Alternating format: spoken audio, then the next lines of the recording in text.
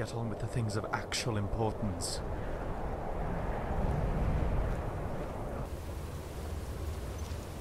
This Gunmar does seem to at least fit the hunter part of Vampire Hunter rather well.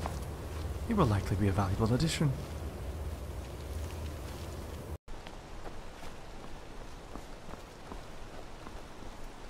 I'm not quite sure what Serana brings to the table, but that will likely be revealed soon enough. We're two for two.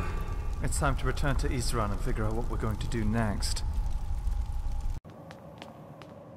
A vampire? That wouldn't be... Serana, was it?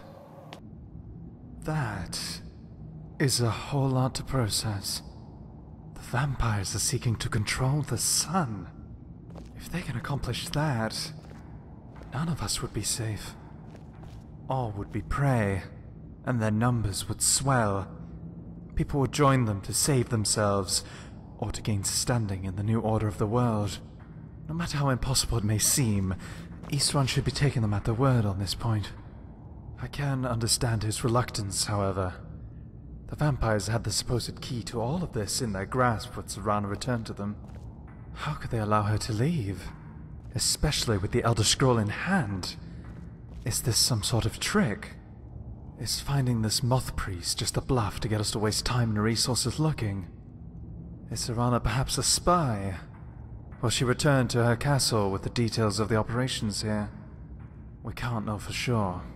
But we cannot afford to be wrong and not investigate this further. And if it is true, we have been very fortunate for Serana to turn coat like this.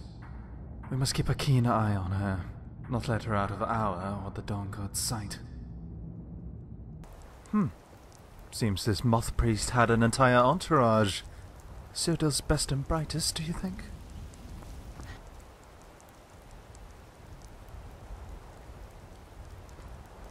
Now that is awfully convenient. Ready yourself. An ambush likely awaits us at this Forebears holdout. That's the trash dealt with. Now to get this moth priest out of here. It seems Rana's story has been proven true thus far. I dread to think what could have happened had we not been here to prevent it. Auriel's bow. It is familiar to me.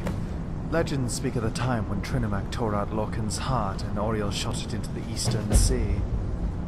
The very same heart that Dwemer would find beneath Red Mountain. The very same heart that Tribunal and Dagoth Ur would siphon power from.